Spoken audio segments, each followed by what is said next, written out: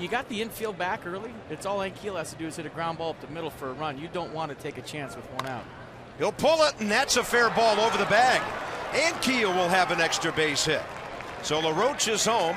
Rick Ankiel's third RBI of the season and his second of this series. Nationals on top. All of a sudden, Jordan Zimmermann is in uncharted waters. The Nats with an early run in one of his starts, and that allows him to relax a little bit. Nice piece of hit right there by Rick Ankiel. He gets a curveball up in the zone, little hanger, pulls it down the line. And now the Nationals have another run in scoring position. Good.